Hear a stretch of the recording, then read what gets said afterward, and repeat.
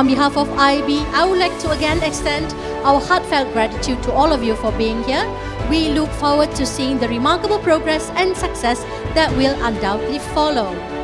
Today, we welcome the Telekom Malaysia Nexera joint venture partnership.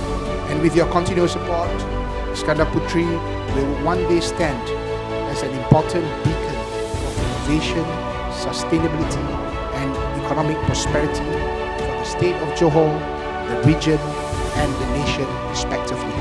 So, ladies and gentlemen, with that, I thank you.